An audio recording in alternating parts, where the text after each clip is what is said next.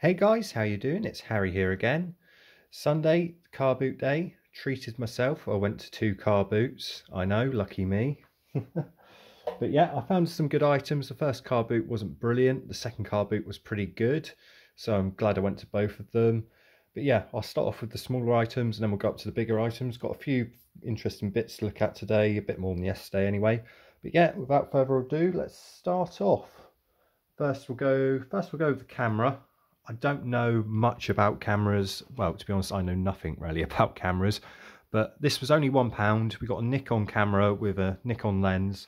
I thought for one pound, you know, it's got to be worth taking a gamble on for a pound. Uh, for some reason, I can't get this to fit in correctly because I don't know what I'm doing. but yeah, I only paid a pound for this. It's got the strap here to go around your neck. Uh, lens seems to be in pretty good nick. It's got the cover here as well. Just pop it off. It's too little. Yeah. So it's in pretty good condition. You know, a few little, I think I'll clean off though, little marks on there. Nothing major. But yeah, so I only paid a pound for this. I reckon I'll put it online. I'll put it on the spares or repairs or parts or something like that and I think I'll get about £10 looking at what they're going for online, like between 30 and £50. So I reckon someone will want it for a tenner. So yeah, that'll be interesting to see how much you get for that one.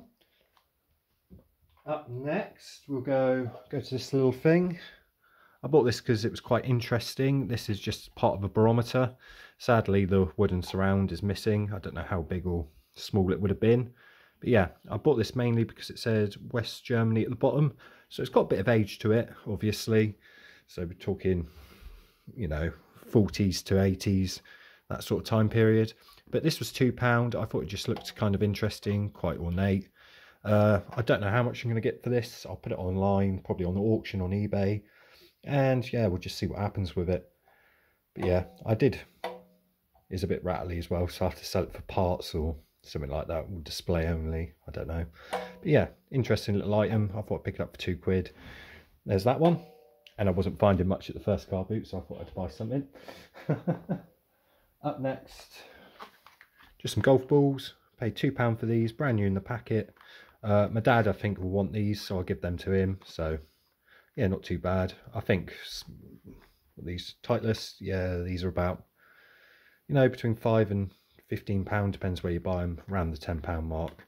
But yeah, I only paid £2, so I'll give them to my dad. It's a good little gift. Up next, we'll do these. I only bought these because the bloke didn't have any change, so I needed £2 in change. So I just picked these up instead. These are like two-handed chisels. So we've got like one honing one here. You know, two hands on here, it's quite comfortable. And not too sure on this one. No maker's mark on these. I imagine they're quite cheap. I've looked them up online and a brand new set's only about 30 to 40 pound with about eight of them in. So only paid two pound for them. I'm not going to get, I'm going to get my two pound back in change I wanted. But yeah, I don't think I'll get much more. Maybe five pound for the pair, something like that. But yeah, yeah, I like picking up good wood working tools every now and then. Uh, we'll go next to the watches. Found two watches today that were worth picking up. There were quite a few about, but a lot of them I don't see much profit in.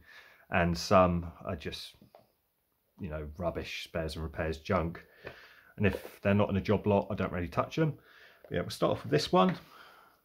We've got Ben Sherman one here, nicely boxed. Little price tag on it still. £10, which a little bit pricey for this one. It's got the plastic cover on it as well. I thought, oh, it's a bit scratched, but no, it's just got this little plastic cover on still, which is good. All in good working order, the correct time. But yeah, I paid a tenner. I think I'll probably get 15 to 20, so I don't think it's that good. But I wasn't finding much at the first car boot, and so I bought picked this one up. But still, a fairly nice looking watch, and it's nice to be boxed. Up next, Got this little Sekonda watch and bracelet set. This quite this caught my eye quite a bit. I thought it was quite nice. Look at that. So we've got the watch here. Needs a new battery more than likely. Oop, dropped it. yeah, in lovely condition. And then we've got the matching bracelet here. Ooh. Yeah, so really nice item. Only cost me £3, which I thought was a pretty good deal. Uh, sadly, Sekonda's not the best watch brand in the world, but this I think is going to make a lovely gift for someone. So I'm going to price it for around £15, I think. Once I get it working, you know, put a one pound battery in it, 10 minutes of my time. So yeah, it's worth picking up for that. It's also nice it's boxed and got somewhat the instructions. I think there's supposed to be more, but still it's got some paperwork, which is always good. Makes them easier to sell. So we've got that one there as well. So that's the small items done with. Gonna have to just move the camera slightly to get everything in. Just moving everything out the way. Okay, so we'll start out with my biggest buy of the day. Oh, yes, that's right. I was filming on it.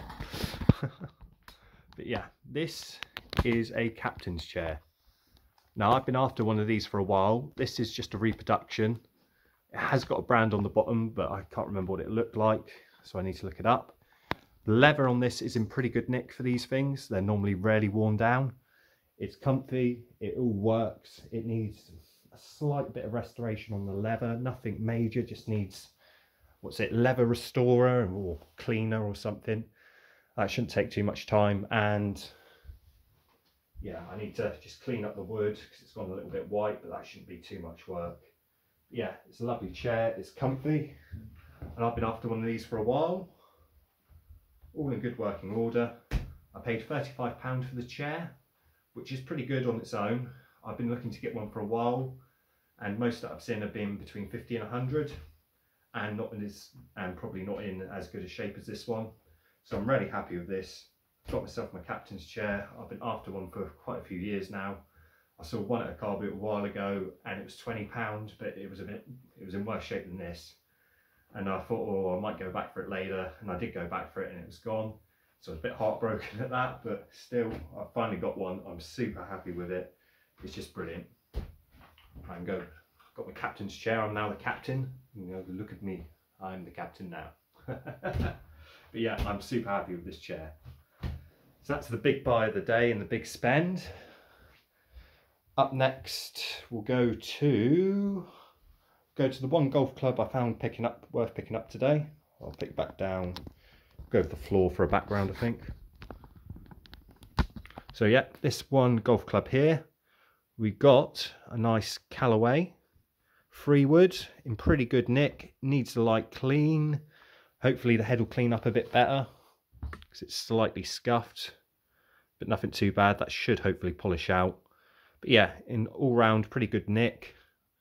And I only paid £3 for this with a head cover, which is ideal. It's not the newest model, but it's still pretty good. I paid £3. I think I'll have no problem getting £20 for this quite quickly. So I'll be happy with that. Also got the Odyssey Club from yesterday. I don't think I'm going to bother regripping that. I'm just going to stick that online for 20 and hopefully get that. Worst case, get, you know, just over 15. But yeah, there's that. Up next, we'll go to the bags. I've got some bags today.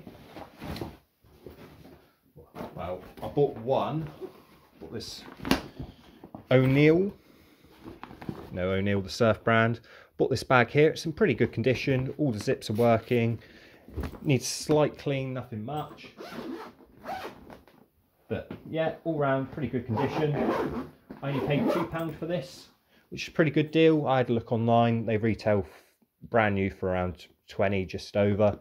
So for £2, I should, you know, get eh, close to 10, I reckon, for it. But still, it's a nice bag. Worst case, it doesn't sell. I'll use it.